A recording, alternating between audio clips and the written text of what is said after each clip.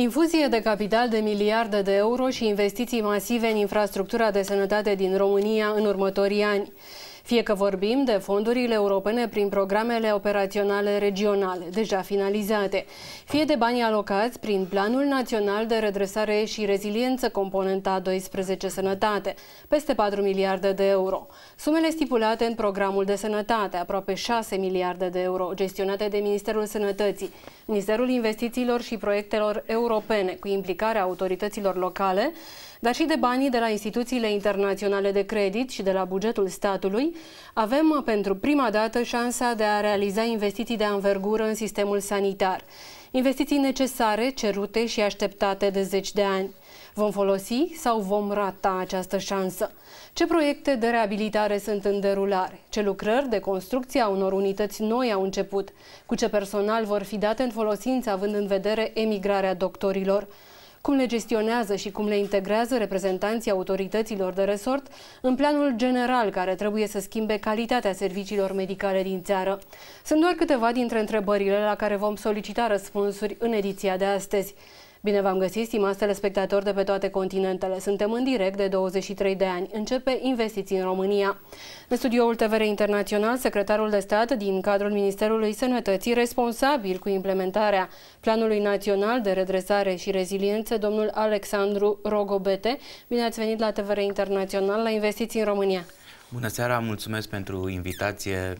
Mă simt onorat să fiu alături de dumneavoastră și de telespectatorii dumneavoastră. Mulțumim. Domnule secretar de stat, v-ați întors din Statele Unite ale Americii, ați fost într-o delegație de lucru împreună cu Ministrul Sănătății, domnul Alexandru Rafila. Cu ce reacții, cu ce vești și care a fost scopul vizitei? Scopul vizitei a fost, în primul rând, de a consolida proiectele deja existente cu partenerii strategici din Statele Unite ale Americii. Mă refer la Banca Mondială aici, cu care avem un proiect uh, de, de câțiva ani, un proiect care a fost resuscitat în ultimul moment, la sfârșitul anului 2021 și care acum uh, funcționează bine și se văd rezultate concrete. Nu mai vorbim de proiecte pe hârtie, vorbim de construcții care sunt deja la al patrulea nivel, de exemplu, la Timișoara sau uh, construcții care deja au început și care progresează, progresează frumos. Uh, sigur, un alt parteneriat important început anul trecut în contextul acestor fonduri internaționale disponibile într-un volum atât de mare la nivel național, parteneriatul cu Departamentul de Justiție din Statele Unite, alături de care avem o serie de activități uh, pentru conștientizare, să-i spun așa, în ceea ce privește anticorupția în achizițiile publice și bunul mers al mecanismelor de implementare uh, a proiectelor. Ce altceva ați mai discutat cu Banca Mondială? Un, o discuție importantă a fost în ceea ce privește prelungirea proiectului existent cu încă 18 luni pentru a finaliza, să spun așa, într-un, într-un termen rezonabil cele trei centre de mari arși care se construiesc acum, respectiv o, o reformă importantă în ceea ce privește digitalizarea sistemului de sănătate din România. Cam acestea au fost subiectele abordate cu reprezentanții Băncii Mondiale. Pentru că ați vorbit de aceste cele trei mari centre de mari arși, pentru că am trecut prin colectiv, aș vrea să știu care este stadiul acestor lucrări. La finalul anului 2021, când împreună cu domnul ministru, domnul profesor Afila, am venit la Ministerul Sănătății, aceste proiecte erau complet blocate. Deși erau începute încă din anii 2014-2015, uh, ideea acestor proiecte. Motivul pentru care au fost blocate este greu să vi-l spun, nu știu, fonduri au existat, uh, au fost blocate licitațiile, au fost blocate, probabil au fost blocaje de orgoliu uh, și tot felul de alte lucruri care au ținut pe loc aceste trei atât de importante unități sanitare din România. În momentul de față, cu sprijinul și cu înțelegerea Băncii Mondiale de acum 2 ani, Proiectele sunt într-o fază avansată, aș putea spune, în sensul că la Timișoara construcția se află deja la etajul 4 uh, și sperăm că până la finalul anului se va finaliza. La Grigore Alexandrescu, primul centru de arș grav pentru pacienții pediatrici, uh, construcția se derulează într-un ritm alert și au fost recuperate întârzierile din, din ultimii ani și acum câteva săptămâni a au fost începute lucrările de construcție și pentru centrul de arș grav de la Târgu Mureș. Când estimați că vor deveni funcționale? Ele vor fi funcționale, complet funcționale, undeva la mijlocul către finalul anului 2025. Și când spun complet funcționale, mă refer dotate corespunzător și complet, cu toate avizele de funcționare uh, și cu toate aprobările necesare, inclusiv cu resursa umană uh, necesară pentru funcționare. Există și alte fonduri în afară de, că, de cele de la Banca Mondială? Pentru centrele de arși, doar uh, fondurile de la Banca Mondială sunt destinate, uh, au această destinație. Domnul secretar de stat Rogobete, spuneam că sunteți responsabil de implementarea Planului Național de Redresare și Reziliență, componenta aceasta sănătate, componenta 12. Uh, dați-ne câteva detalii despre ce înseamnă această componentă pe sănătate și despre modul în care au început să fie cheltuiți acești bani. Da, este un program, aș putea să-i spun, fără să exagerez, istoric. Pentru că, pentru prima dată uh, post-decembrist, uh, sănătatea beneficiază de o linie de finanțare directă din fonduri europene nerambursabile. Până acum au existat tot felul de proiecte prin programe operaționale uh, și tot felul de alte linii de finanțare, dar niciodată nu am avut atât de mulți bani doar pentru dezvoltarea sănătății din România pe de o parte și pe de altă parte este un program complex prin numeroasele uh, uh, reforme pe care le aduce și numeroasele investiții care acoperă toate componentele sistemului de sănătate. Și aici mă refer la medicina prespitalicească, atât de importantă de fapt, uh, medicina de familie și medicina ambulatorie de specialitate, la medicina spitalicească, în interiorul spitalului, dacă pot să-i spun așa, împărțită și ea pe componentele esențiale dintr-un spital. Și anume, se, vor fa- se fac investiții uh, în reducerea infecțiilor asociate activității asistenței medicale, așa mult cunoscutele infecții nozocomiale, uh, investiții pentru dezvoltarea și creșterea capacității de răspuns a secțiilor de neonatologie, terapie intensivă pentru nou-născuți, uh, investiții pentru reabilitarea și construcția și dotarea de unități sanitare noi. Acestea sunt cele trei mari componente de investiții în interiorul spitalului, dacă pot spune așa. În exteriorul spitalului, uh, proiectele se focalizează se, uh, pe dezvoltarea medicinei de familie prin reabilitarea și dotarea cabinetelor de medicină de familie, în special în mediile defavorizate, în mediile rurale, uh, construcția și dotarea a 200 de noi unități de centre comunitare integrate în zonele rurale, care vor aduce la un loc medicina de familie cu uh, partea de asistență socială, cu partea, cu partea de mediere, dacă pot să spun așa, medico-sanitară, achiziția de caravane, uh, de 10 caravane pentru screeningul uh, cancerului de col și de sân, care vor funcționa în special în mediile defavorizate și îndepărtate, în mediile rurale, unde populația nu are acces la toate serviciile medicale atât de ușor.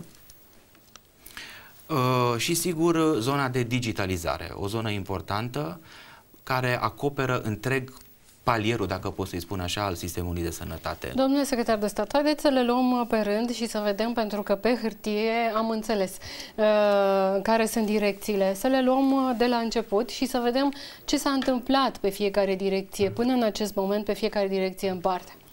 Mă bucur că de data aceasta nu vorbim de proiecte doar pe hârtie și vorbim de proiecte care se întâmplă. Se întâmplă în acest moment în spitalele din România, în cum să spun, pe o arie cât se poate de mare și de omogenă la nivel național, în sensul că nu se duc fondurile doar în anumite zone, nu se duc doar în centrele universitare, din contră, sunt foarte multe spitale orășenești, foarte multe spitale municipale, mici, care beneficiază de fonduri importante pentru reabilitare și dezvoltare. Uh, sigur, le luăm, le, luăm, le luăm pe rând, cum spuneți dumneavoastră. Uh, În ceea ce privește reducerea infecțiilor nozocomiale din spitale, sunt aprobate încă de anul trecut 116 proiecte, practic 116 unități sanitare vor beneficia, beneficiază de fapt de aceste fonduri, achizițiile publice sunt începute, facem zilnic plăți. Și asta mă bucură. Uh, fără să exagerez, zilnic Ministerul Sănătății pentru PNRR primește undeva la o medie de 20-30 de facturi pentru decontare. Și asta arată de fapt că lucrurile se întâmplă, se întâmplă într-un ritm accelerat. Uh, echipa Ministerului Sănătății, pentru că aici nu e vorba de un om sau de doi oameni, e vorba de o echipă care în ultimii doi ani a reușit să fie scoasă din zona de confort și lucrurile se întâmplă. Uh, se întâmplă și se văd cu ochiul liber. Am vizitat multe spitale în ultimele șase luni, de exemplu, unde avem proiecte uh, cu fonduri din PNRR și progresul se vede. Este pe întreg teritoriul țării această infuzie de capital? Da, da. Este pe tot teritoriul țării și nu s-a ținut cont de tipul de spital, în sensul că investim sigur în spitalele așa, așa, uh, spitalele considerate strategice, spitalele clinice mari de urgență care, uh, uh, care oferă servicii de asistență medicală complexă pentru cazuri mai grave, dar și în spitalele orășenești, în foarte multe spitale orășenești avem proiecte și spitale municipale mici. Deci da, distribuția fondurile este, fondurilor este uh, omogenă, dacă pot să spun, la nivel regional. Se simte deja o îmbunătățire la nivel de servicii și la nivel de uh, calitate a serviciilor medicale, pentru că știm foarte bine că în zonele mai puțin dezvoltate, în orașele mai mici, în orașele de unde mulți români au plecat să lucreze în străinătate, sunt probleme cu serviciile medicale și nu sunt probleme ușor de rezolvat. Așa este. Vedeți dumneavoastră, satisfacția pacientului nu constă doar în cât de bine arată pereții, dintr-un spital și cât de multe echipamente uh, de ultimă generație, de exemplu, au medicii la dispoziție. De multe ori, pacienții nici măcar nu știu acest lucru. Nu știu că echipamentul, de exemplu, un pacient de terapie intensivă care este intubat, uh, care este în comă indusă și care supraviețuiește pentru că echipamentul este de ultimă generație, acel pacient nu știe acest lucru și sigur că apreciază cu totul alte valori. Apreciază emoția transmisă de către resursa umană, de către medici, empatia, apreciază cât de repede îi se rezolvă problema, apreciază cât de, și cred că ajunge să aprecieze atunci când înțelege problema medicală pe care o are și acest lucru se poate doar dacă îi se explică corect, îi se explică calm, cu răbdare. Uh, cred că toate aceste lucruri la un loc duc la satisfacția pacientului. Domnule secretar de stat, eu cred că apreciază și partea de investiție în confort, ca să spun așa, și în tehnologie. Și știți de ce? Foarte mulți pacienți care au ocazia să beneficieze de servicii de sănătate private se întreabă sau spun de ce nu avem acces la aceleași lucruri și la stat, pentru că nu se plătește puțin pentru sănătate în fiecare lună. Da, așa este, doar că uh, în ultimii doi ani am, cu toții am văzut foarte multe discuții despre plata serviciilor medicale în spitalele din România. Nu multe spitale care la finalul anului trecut au rămas fără bani, de exemplu. Nu mai puteau uh, plăti, nu mai puteau achiziționa medicamente și așa mai departe. Ei bine, acest lucru care ține de finanțarea serviciilor de sănătate, practic este apanajul Casei Naționale de Asigurări de Sănătate, care plătește după un mecanism vechi, un mecanism neactualizat la inflație, la prețurile actuale, uh, la tot ce se întâmplă în 2024 din, punct de vedere, din punctul de vedere al tehnologiei medicale. Și atunci apar aceste disfuncționalități. Nu generalizez, există spitale unde nu se întâmplă acest lucru, dar există un procent important de spitale în care apar aceste disfuncționalități în sensul că serviciile, confortul, serviciul hotelier, că despre acesta vorbim, uneori lasă de dorit Uh, mâncarea este un subiect important și atât de, atât de discutat. Deși Ministerul Sănătății a crescut uh, uh, volumul, bugetul alocat per pacient pentru hrană, în foarte multe spitale acest lucru nu se vede în calitatea în care arată și aici ține de oameni. Pentru că cu aceleași alimente, dacă le aranjezi într-un mod plăcut în farfurie și le servești într-un mod plăcut, pot crea o senzație de plăcere pacientului, pe când în foarte multe locuri acele alimente sunt aruncate la propriu într-o caserolă și caserola este aruncată la propriu pe noptiera pacientului și atunci apar aceste discrepanțe în cum percepe pacientul de fapt calitatea serviciului medical. Și cum se poate îmbunătăți acest lucru? Este vorba de oameni, într-adevăr, este vorba de cel care conduce spitalul, dar nu există uh, de la centru uh, anumite proceduri prin care acești oameni să fie sancționați? Ba da, dar uh, dumneavoastră considerați că în România toată lumea respectă legislația chiar dacă ea există? Nu consider că o respectă este... și se vede, dar consider că atât timp cât există legiferată, trebuie respectată. Așa este.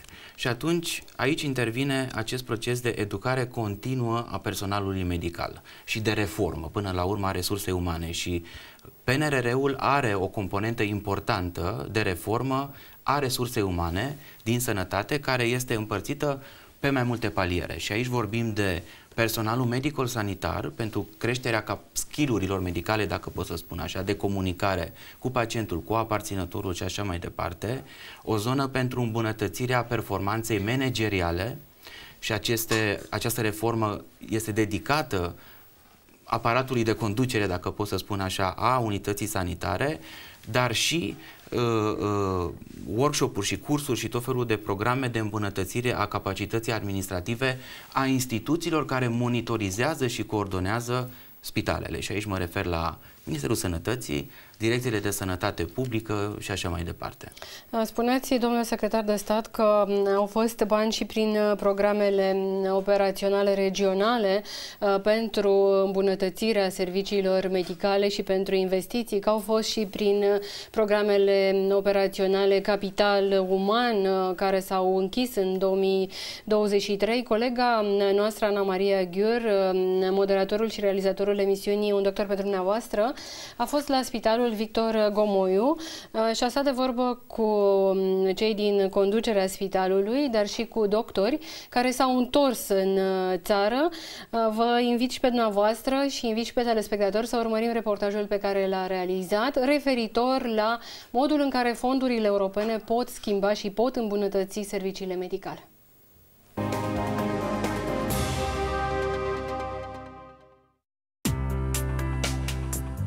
Fondurile europene disponibile prin Planul Național de Redresare și Reziliență și prin Programul de Sănătate sunt unele dintre cele mai importante surse de finanțare pentru dezvoltarea infrastructurii sanitare pe care le are România în următorii ani.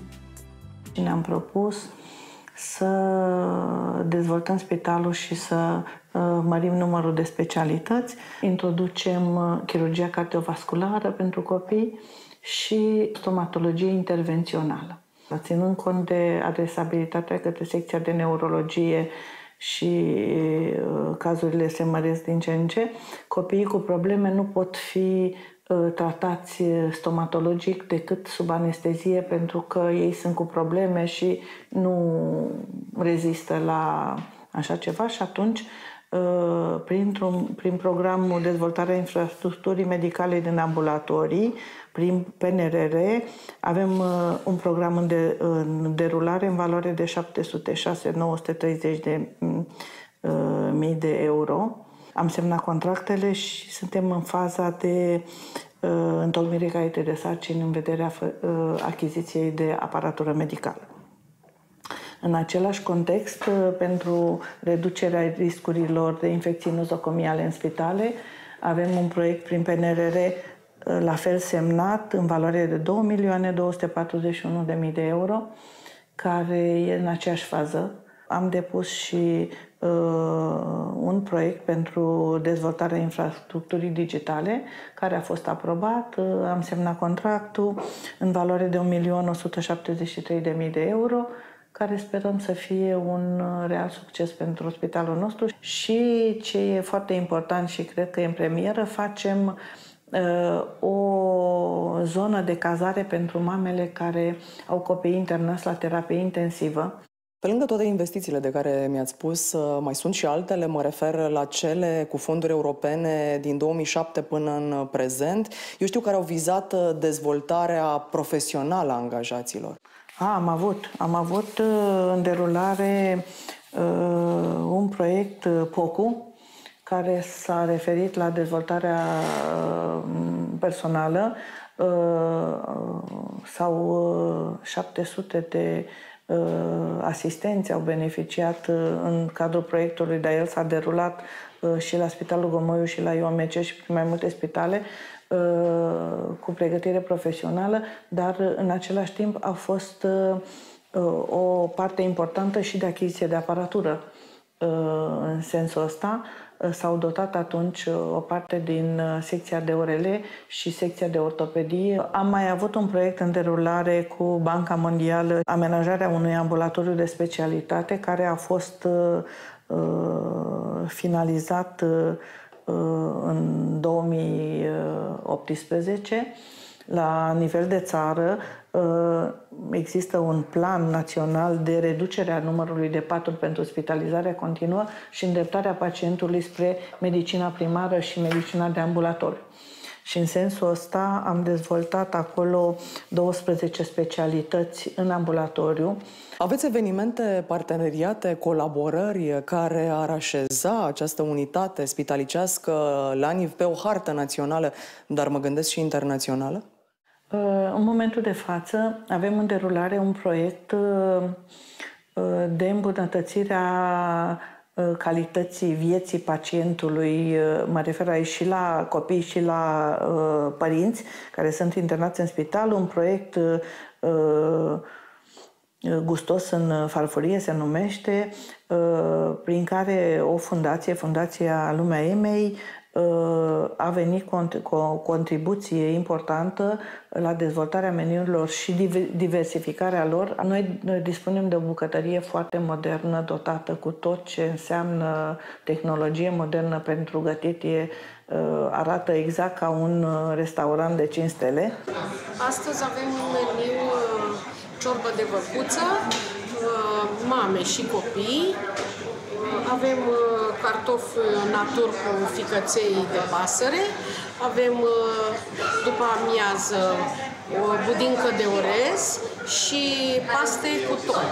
Un alt proiect internațional îl avem cu o fundație elvețiană, Fundația ANUC se numește, care din 2018 dezvoltă în spital un, um, un proiect de pictură murală terapeutică prin care s-au pictat toți pereții din spital Uh, și copiii au o stare mult mai ok. Ei vin aici, mulți dintre ei nici nu vor să plece la externare, că vor să rămână aici.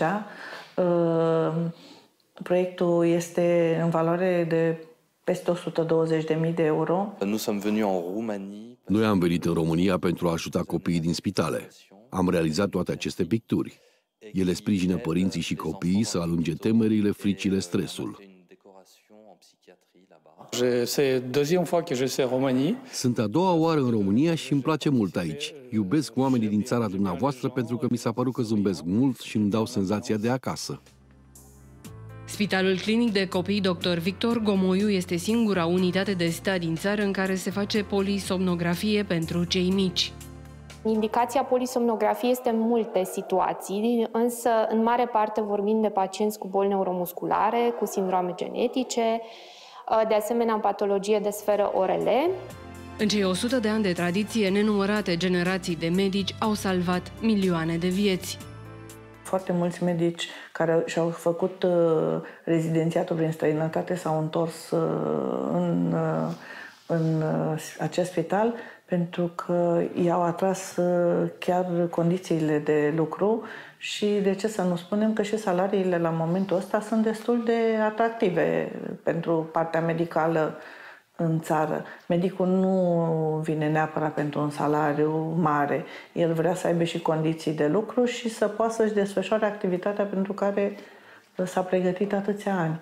Deci, în secția de ortopedie avem cinci medici care uh, fac niște operații deosebite, Uh, se lucrează foarte mult cu copii oncologici pe care până la momentul actual uh, cam uh, niciun spital nu le dădea foarte mare atenție pentru că doar știți copiii oncologici sunt mai dificili și mai greu de reabilitat după o intervenție chirurgicală. Doctorul Costel Vlad s-a întors după mai mulți ani petrecuți în străinătate.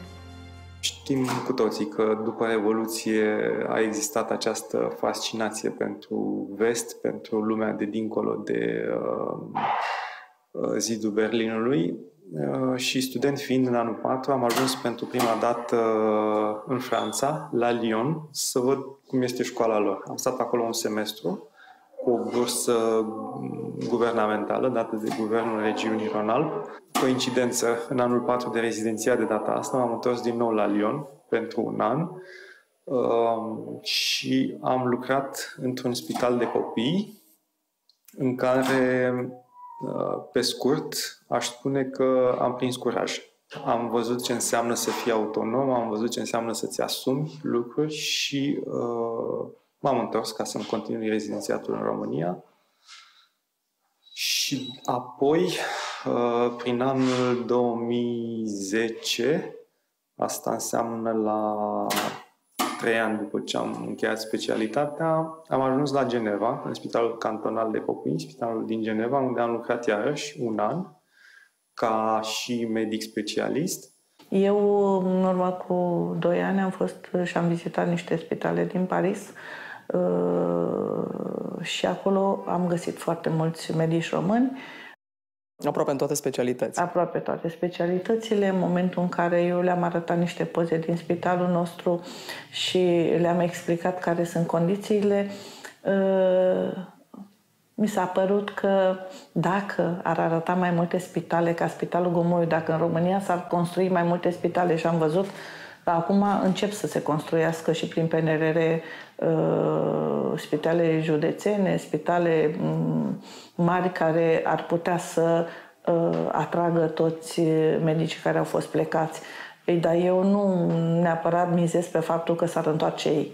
Dar medicii tineri care termină specialități în, în România și au un mediu bun unde să se dezvolte, e păcat să mai plece. În această viață nu aduce anul, ci aduce ceasul, pe de o parte. Pe de altă parte, am început acest proiect la Spitalul Gomoiu, care nu e un proiect de un an, doi, este probabil un proiect de o viață profesională și totuși, uh, dacă ar fi să pun în balanță uh, ce înseamnă România comparativ cu ce înseamnă ce ar însemna străinătatea, mi se pare că este mai mare nevoie de mine în România decât în Elveția, de exemplu. Ce sunt eu astăzi datorez, în primul rând, acestei nații, familiei mele, oamenilor pe care i-am întâlnit în această țară.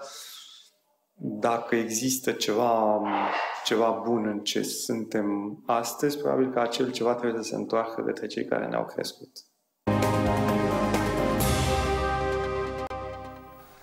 În urmă cu 100 de ani, bani pentru acest amplu proiect, în egală măsură opere de caritate, au fost obținuți cu mari insistențe prin subscripții publice de la Banca Națională, CFR, Ministerul Muncii și Ministerul Sănătății. În schimbul acestor fonduri, profesorul Victor Gomoiu s-a angajat să acorde asistență medicală gratuită a angajaților acestor instituții pe o perioadă de 10 ani. Așezămintele medico-sociale Sfânta Elena, fondate de profesorul Victor Gomoiu, au fost conduse și organizate de domnia sa atât de bine încât secția sanitară a Ligii Națiunilor Unite de la Geneva le-a recomandat ca model și asta, domnule secretar de stat, acum 100 uh, de ani. Revenim la investițiile din Planul Național de Redresare și Reziliență și continuăm cu investițiile în ambulatoriile de specialitate și în tot ce înseamnă zona de neonatologie și vrem să știm detalii cum se vor uh, schimba în următorii ani, pentru că vorbim de un exercițiu financiar până în 2027. Până în 2026 la final uh, PNRR-ul, respectiv până în 2027 programul operațional sănătate care doar ce a început.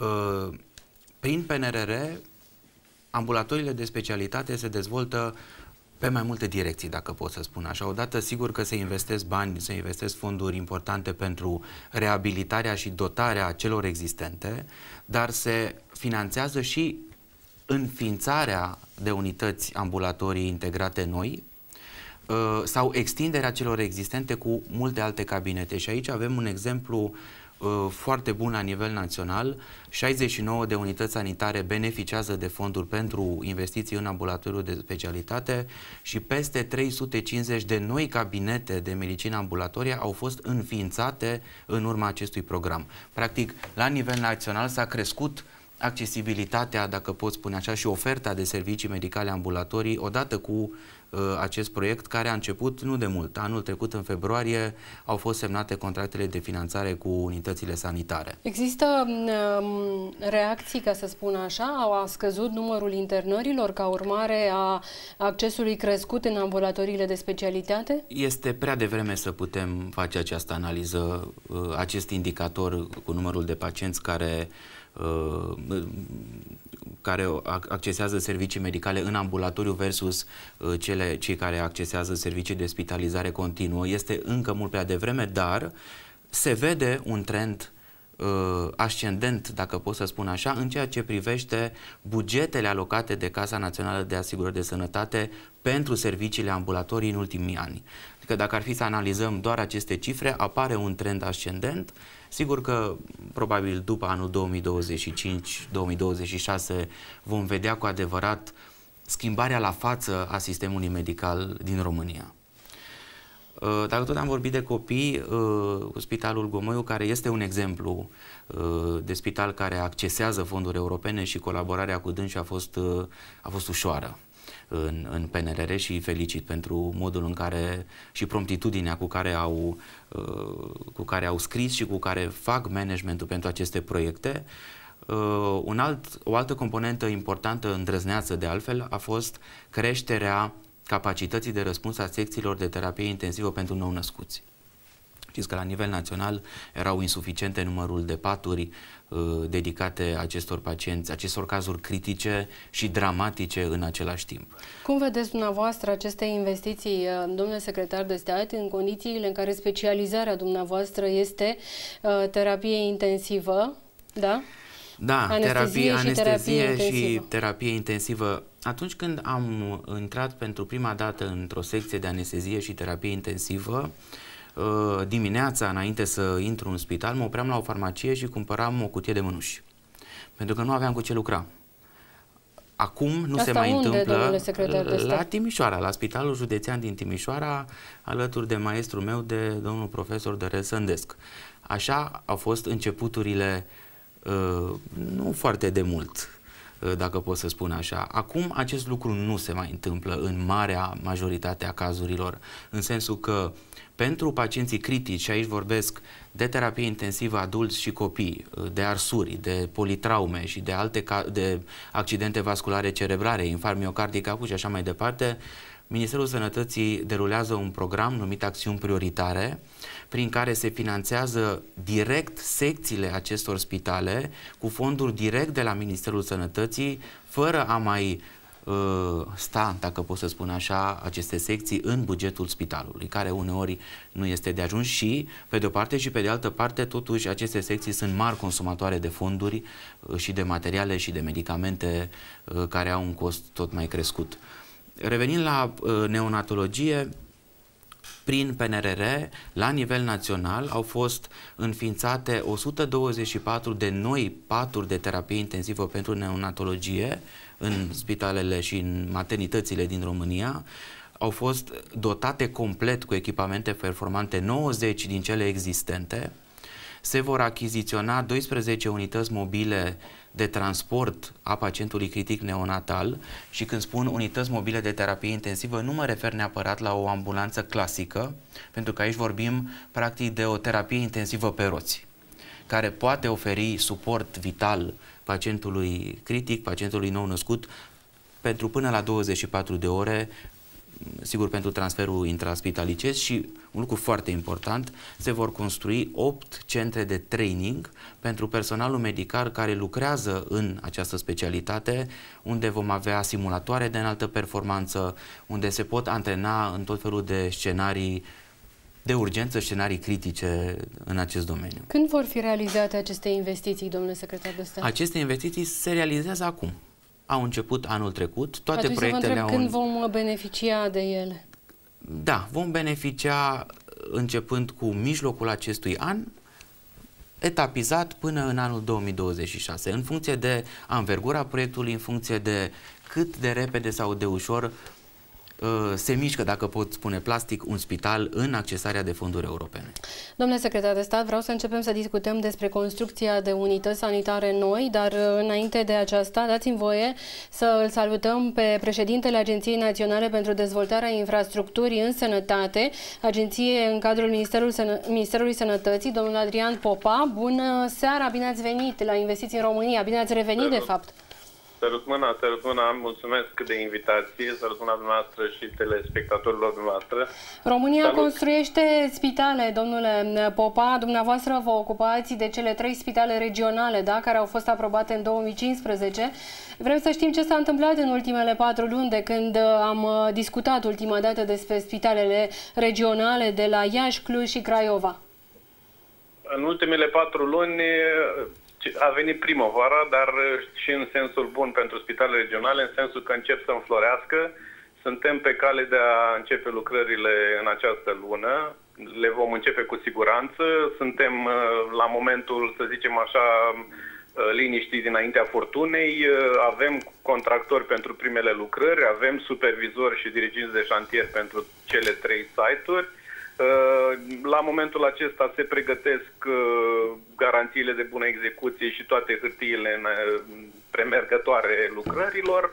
Pe 19 aprilie vă invităm la Iași, o să avem acolo o conferință de spargere a solului, în care practic va desemna începerea lucrărilor la primul spital regional, uh, cel din Iași, și ulterior pe 26 la Craiova și la începutul mai la Cluj.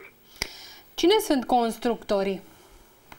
La primele pachete de lucrări, constructorii uh, sunt uh, autohtoni. Uh, îi putem spune și pe nume, dacă credeți că este de interes. La Iași e o companie NES Proiect, la um, Cluj e o companie românească din București, Ubitech, și la Craiova o companie care se numește Synergy în colaborare cu cineva din Galați, Dramirom. Au experiență în construcția unor unități de profil? Au experiență în uh, construcția și amenajarea de spitale. A fost o condiție obligatorie să aibă experiență similară. Uh, cel puțin unul dintre asociații grupurilor cu care s-au prezentat la ofertare. Spuneți-ne, domnule președinte Popa, din punct de vedere al surselor de finanțare, pentru că fiind aprobate în 2015, au fost nenumărate programe, pe ce vă bazați în momentul de față? Păi, la acest moment vă pot spune că finanțarea este asigurată pentru cele trei spitale regionale și anume prin programul de sănătate pe care domnul secretar de stat l-a menționat mai devreme, și uh, prin uh, contribuția națională și prin creditele, cele trei credite făcute cu Banca Europeană de Investiție dedicate pentru fiecare dintre cele trei spitale și aprobate prin lege în anii trecuți. Telespectatorii văd imagini cu proiectele acestor spitale. Așteptăm cu nerăbdare să le vedem finalizate. Când uh, trebuie finalizate? Pentru că știu că există niște condiții obligatorii. Conform cererilor de finanțare depuse în programul de sănătate, termenul de finalizare uh, uh, este final de an 2028. Cum vor schimba viața acestor zone, aceste spitale regionale, domnule președinte Popa? Cred că răspunsul la această întrebare e mult mai avizat să-l ofere domnul secretar de stat, însă eu vă pot spune că ele fiind prinse și în Strategia Națională de Sănătate, fără doar și poate uh, mediul nou, aparatura nouă și personalul trăinuit va aduce plus valoare în calitatea actului medical și în tratamentul uh, pacientului uh, critic sau acut care va trebui să se adreseze Spitalului Regional de Urgență din fiecare regiune. Mulțumim frumos, domnule președinte al Agenției Naționale pentru Dezvoltarea Infrastructurii în Sănătate, Adrian Popa, pentru informații. Vă urăm succes uh, și așteptăm să vedem uh, că începe construcția acestor spitale regionale, pentru că uh, din 2015 până acum au trecut foarte mulți ani. Așa este, ele se întâmplă. Vă mulțumesc frumos, transmit și eu uh, un uh, salut cordial uh, ordonatorului meu principal de credite, domnul secretar de stat Rogobete. Mulțumim foarte mult și ne îndreptăm cu întrebarea către dumneavoastră, domnule secretar de stat. Uh, cum vă așteptați să schimbe viața oamenilor uh, din Iași, Cluj, Craiova? De fapt, dacă ne gândim, este un triunghi, nu? Da, trei regiuni importante cu o populație destul de aglomerată. Uh, vedeți dumneavoastră, toate aceste proiecte, aceste spitale atât de mult promise, de atât de multe ori, în care la un moment dat lumea nu mai crede, a ajuns să nu mai creadă. Noi, eu, medic, colegii mei, nu mai credeam vreodată că aceste spitale se vor face. Pentru că După au 8 fost... ani de așteptare? Exact, este absolut normal. Și nu și... doar așteptare, domnule secretar de stat, după 8 ani în care au existat uh, certuri și scandaluri și neînțelegeri între centru și autoritățile locale pentru implementarea acestor spitale, la un moment dat chiar s-au schimbat zonele unde trebuiau să fie făcute așa și așa este. mai departe. Și uh, cel puțin odată la 3 ani s-au lansat aceste spitale de și s-au relansat și s-au relansat și s-au relansat uh, odată cu uh, campaniile electorale, evident. Doar că de data aceasta ele se fac. Se fac lucruri concrete și îmi place să vorbesc despre lucrurile concrete care se întâmplă și am acest principiu și această viziune. Nu, nu, nu-mi place să vorbesc despre ce vom face cred că avem suficiente de vorbit despre ceea ce facem deja pentru că se vede.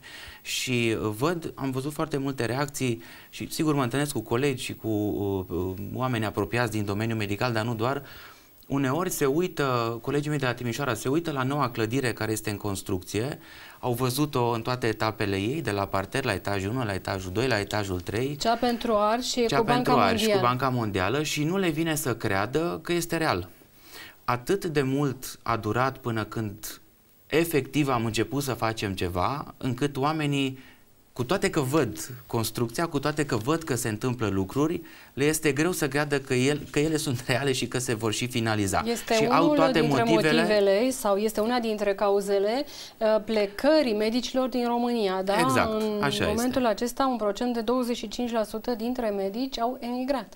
Este adevărat. Pe de altă parte, în ultimii ani, acest procent începe să scadă. Așa într-un este. trend tot mai accelerat, uh, odată, sigur, cu crearea infrastructurii necesare, cu creșterea uh, salariilor în domeniul medical, toate aceste lucruri stimulează un tânăr medic să rămână în România și să profeseze sau stimulează un medic plecat în străinătate să se întoarcă acasă uh, pentru a profesa. Considerați, domnule secretar de stat, că toate aceste investiții în infrastructură nouă și aceste trei spitale regionale, dar și cele pe care vă rog să ni le dați ca exemplu în această listă, le văd uh, uh, sume considerabile, peste un miliard, uh, sume de uh, sute de milioane de uh, lei în uh, investiții în infrastructură spitaliceastă publică nouă vor aduce medicii din străinătate acasă sau măcar îi vor determina pe tineri să rămână în țară? Cu siguranță da.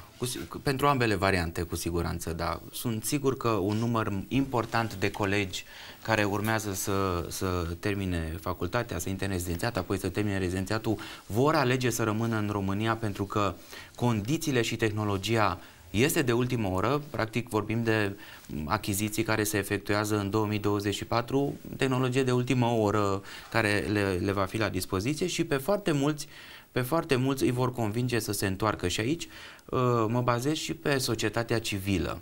Și vreau să dau acest exemplu, este important. Am trăit această emoție, această poveste acum nu de mult la un eveniment la Pitești care m-a impactat și care, uh, care a însemnat mult și care arată cât de importantă este de fapt societatea civilă în acest demers pe care autoritățile centrale îl fac într-un mod evident mai tehnic, mai robust, poate mai, mai greu de, de uh, mai, mai greu de transmis emoție și empatie.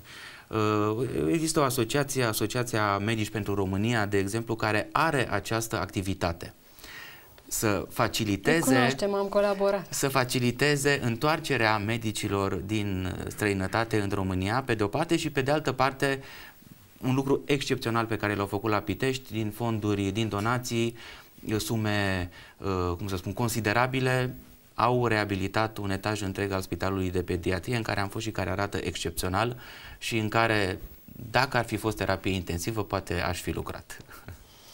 Să continuăm cu aceste investiții da. în uh, unități uh, noi și să vedem ce pregătiți, ce aveți în uh, derulare. Văd aici uh, construirea unui sediu nou pentru Spitalul Județean de Urgență Piatra Neamț, da? Uh, nu știu dacă m-am uitat corect, dar cred că e cea mai mare sumă alocată. Mm, nu, nu sunt convins că este cea mai mare sumă. Cred că Spitalul Universitar din București are cea mai mare sumă alocată.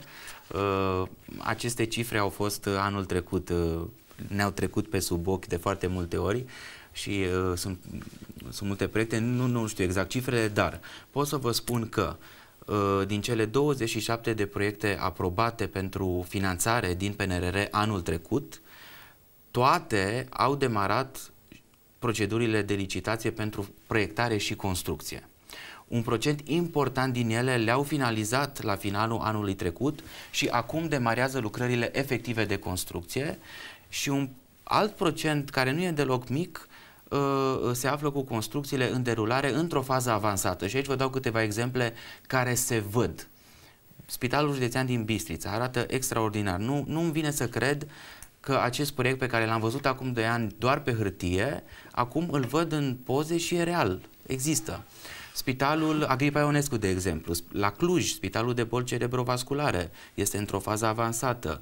La Bacău, Spitalul Județean din Bacău este într-o fază, într-o fază avansată. La Târgu Mureș uh, urmează uh, începerea lucrărilor de construcție și așa mai departe.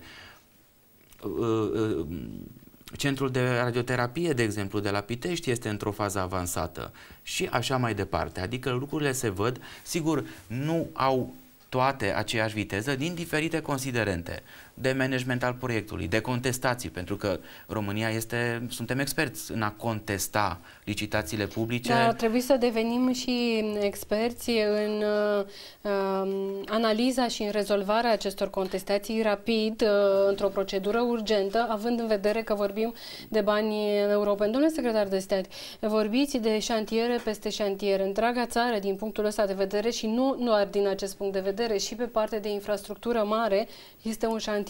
De unde există atât de multă forță de muncă în condițiile în care știm că zona de construcții suferă pe partea de forță de muncă pentru a duce la bun sfârșit aceste proiecte? Eu cred că companiile românești din domeniu uh, s-au dezvoltat intens în ultimii ani. De exemplu, nu, nu vreau să dau nume, Ca să dar... spun așa, așteptau aceste proiecte, nu? Erau cunoscute. Erau cunoscute încă din 2019 că vor urma. Uh, resursa umană s-a pregătit oarecum în acest domeniu și sigur că există colaborări cu multe companii internaționale care aduc un aport important de resursă umană și de uh, cunoștință în, în, în acest lucru. Există o companie sau există mai multe de fapt care au 3-4 șantere în paralel în PNRR și toate funcționează la fel de bine. Să vă întreb dacă în același județ sau... Nu, nu în același județ, la nivel național. Am înțeles. Um, vorbeați de spitalul universitar uh, din București. Um, cred că la câteva luni de zile, uh, așa uh, ne duce viața, ajung sub o formă sau alta în spitalul universitar. De fiecare dată mă uit și mă întreb, 30 de ani, domnule secretar de stat, oare nu s-a găsit niciun reprezentant al primăriei, niciun edil. Au fost în 30 de ani de la toate partidele care să încerce să rezolve problema fluxurilor de intrare, ieșire din spital, problema parcării în aceste zone, este incredibil cum un spital care deservește atât de, mult paci- atât de mulți pacienți nu are o parcare. Da, și nu este singurul exemplu. Sunt multe unități sanitare din România în această situație, pentru că infrastructura este veche atunci când ele au fost construite, această infrastructură de care vorbim acum nu era necesară. Da, domnule secretar de stat, adaptarea... dar există și primari care au construit spitale de la zero și mă uitam la spitalul de stomatologie da, din sectorul da. 4, primul spital de stomatologie, ne lăudăm cu el, cu toate că primul spital de stomatologie în 30 de ani este foarte puțin, dar este făcut în sectorul 4, da, împreună cu Universitatea Carol de Avila.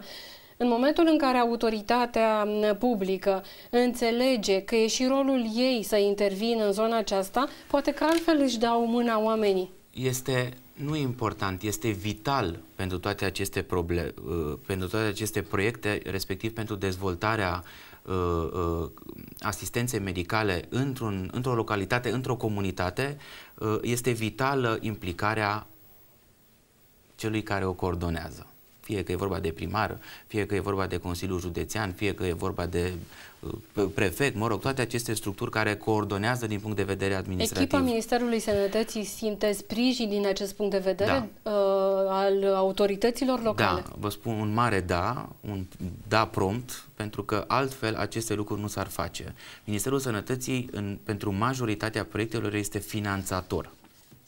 Cel care implementează proiectul este de fapt autoritatea locală. Și aici avem exemplele de bune practici, de la Bistrița, de la Bacău, de la Drobeta Turnul Severin, de exemplu, unde am fost, am vizitat nu de mult spitalul județean, de acolo arată incredibil. Am, nu, nu mi-a venit să cred cât de bine poate să arate acel spital. Am fost la Vișeul de Sus, sau de jos, nu mai știu exact. Uh, ambele uh, sunt frumoase. Ambele sunt frumoase și sunt și apropiate. Uh, spitalul de acolo arată impecabil și este apanajul uh, uh, primarului de acolo. La fel cum la turnul Severin este apanajul președintelui Consiliului Județean și așa mai departe. Uh, colaborăm, colaborăm... Astăzi, în emisiunea Un doctor pentru dumneavoastră, producător Monica Ancuțea, de aici, de la noi, de la TVR Internațional, a fost domnul profesor Cotârleț. Nu avem cum să nu dăm exemplu de la Moinești, pentru că este de departe un model de bune practici. Da, așa este. A fost și la mine, domnul profesor, la Ministerul Sănătății, care... Și, și apropo, despre acest tip de oameni vorbesc. Oameni care își doresc să dezvolte și oameni care păstrează legătura uh, cum să spun eu, pe toate segmentele, cu Ministerul Sănătății, cu autoritatea locală, cu primăria, cu Consiliul Județean. Domnul profesor, până a obținut ce a vrut, pentru binele spitalului și a comunității, uh, a făcut multe drumuri în multe locuri. Uh, dar vedeți, perseverența, uh, bună cred, buna credință până la urmă și responsabilitatea au, au făcut ca lucrurile să se întâmple și, și asta vedem în marea parte a proiectelor pe care le derulăm și le coordonăm acum. La noi, în emisiunile medicale, la TVR Internațional, aproape în fiecare ediție aveam exemple de medici care au revenit în țară. Spuneți că mergeți să vedeți toate aceste investiții și e normal pentru că le gestionați, le vizați, semnați pentru ele. Uh, există medici care s-au întors, a stat de vorbă cu ei, există medici care poate lucrează acum în străinătate și se uită la cei de acasă și discută ce se mai întâmplă, ce investiții se mai fac, când vor fi funcționale, despre ce tipuri de aparatură vorbim. Da, vă dați seama că sunt în contact permanent nu neapărat profesional, ci mai mult colegial, cu colegii mei, medici, care sunt și în România, care sunt plecați în străinătate, uh, care s-au întors din străinătate, de exemplu, am, am câteva părinți pe la Timișoara, pe la clinica ATI, uh, au plecat destul de mulți la un moment dat în Irlanda, Uh, dar care s-au întors în totalitate în spitalul județean. Și nu doar în spitalul județean, ci și în spitale mai mici, mai uh, îndepărtate de centrul universitar și așa mai departe. Da, uh, cred că sistemul de sănătate din România va arăta complet altfel peste 2-3 ani. Pentru că este, acum s-a dat drumul, dacă pot spune așa, la un cumul de forțe. Investiții masive, uh, reabilitări, dotări uh, cu echipamente de ultimă generație, investiții masive în resursa umană pentru creșterea skills-urilor uh, în, uh, în zona administrativă, de management și cred că toate aceste lucruri nu au cum să nu ducă la o îmbunătățire a sistemului de sănătate. Ritmul în care lucrați și în care lucrează și în care sunteți obligați să lucrați de aceste uh, durate, fixe, bine stabilite prin Planul Național de Redresare și Reziliență, obligă uh, și echipa cu care lucrați în Ministerul Sănătății să-i schimbe un pic din rid și să se adapteze. Uh, și vreau să vă întreb uh, dacă au fost oameni care poate au plecat din minister da. din acest punct de vedere. Au fost. Din, uh, din direcția PNRR inclusiv, avem o direcție specială care coordonează PNRR-ul, au fost oameni care au cedat, care au plecat pentru că nu au rezistat volumului de muncă, uh, presiunilor care există, pentru că termenele sunt foarte strânse și foarte, foarte calculate, dar mă bucur că ați adus uh, în aminte acest, aminte acest, uh, acest lucru atât de important și anume echipa. Și pe această cale vreau să mulțumesc din tot sufletul echipei Ministerului Sănătății, de la compartimentul juridic, la cel economic, la echipa PNRR, la echipa de asistență medicală și, în general, la toată echipa Ministerului Sănătății care s-a coagulat exemplar în ultimii doi ani și care demonstrează că uite că se poate. În sensul că în momentul de față derulăm 3500 de proiecte în paralel. Este un volum uriaș de proiecte. Sunt 3500 de contracte semnate anul trecut care se întâmplă în paralel în sistemul de sănătate din România. Iar acest lucru nu ar fi fost posibil fără o echipă care s-a coagulat, care a ieșit din zona de confort și care a înțeles cât de important este să tindem către, către acest lucru și sigur coordonarea și conducerea Ministerului Sănătății și aici mă refer la domnul profesor Rafila uh, care este și mentor uh, și la relația extraordinară uh, dintre, dintre el și echipa cu care lucrăm. Este o relație, zic eu, firească, care ar trebui să existe oriunde. Din uh, punct de vedere al digitalizării și v-aș ruga foarte pe scurt pentru că mai avem uh, în jur de două minute din această ediție, ce înseamnă prin Planul Național de Redresare și Reziliență fonduri pentru digitalizare? Da, se vor atinge toate componentele și uh, adică patru componente mari Uh, și consistente, fiecare componentă fiind finanțată cu 100 de milioane de euro și anume digitalizarea și dezvoltarea sistemului electronic al Casei Naționale de Asigurări de Sănătate, absolut necesar de îmbunătățit, digitalizarea Ministerului Sănătății și a subordonatelor, Mă refer la direcțiile de sănătate publică, serviciile de ambulanță, Institutul Național de Sănătate Publică și așa mai departe. Uh, începerea digitalizării în 200 de unități sanitare și au fost semnate 207, au fost aprobate pentru finanțare 207 spitale care vor beneficia de fonduri pentru digitalizare pe două zone, zona administrativă din spital, respectiv zona de management clinic, zona de interacțiune cu pacientul, respectiv realizarea unui sistem național de telemedicină care are ca scop unirea, dacă pot spune așa, a medicilor de familie cu ambulatorile de specialitate, lucru care va duce la creșterea accesului la servicii medicale primare pentru populația uh, generală. Știți, domnule secretar de stat, când s-au făcut aceste carduri de sănătate pe care le avem uh, cu toții expirate de mult, se spunea că vom avea pe ele toate datele. Mai mult decât să folosim la rețete, nu se întâmplă absolut nimic pe aceste carduri de sănătate. Se va schimba situația aici? Cred că de plătit s-a plătit cu siguranță s-a plătit și nu este singurul exemplu de proiect care s-a plătit și nu funcționează. Da, cred că se vor schimba pentru că criteriile și ghidul de finanțare a impus un standard mai ridicat. Sigur, am învățat din experiența fondurilor europene trecute, pe care pe unele dintre ele le-am pierdut, pe altele le-am absorbit, dar n-am făcut nimic cu ele, adică nu se vede nimic după fostul exercițiu în zona de sănătate vorbesc în special. Și cred că având această experiență și colaborarea intensă cu uh, guvernul și cu restul uh, instituțiilor, acest lucru se va evita de această dată. Mulțumim frumos pentru prezența în studioul la TVR Internațional. Uh, stimați telespectatori, uh, vă invităm să urmăriți în continuare emisiunea pentru că ne uităm către investiții în toate domeniile. Sănătatea ne este un domeniu drag sufletului nostru pentru că foarte mulți medici ați plecat și pentru că avem nevoie să vă uitați către România și poate să vă întoarceți acasă. Săptămâna viitoare însă vorbim despre fondurile alocate prin programele regionale, 8 uh, la uh, număr. Mulțumim că ați fost și în seara aceasta cu noi. Împreună construim pentru generațiile următoare.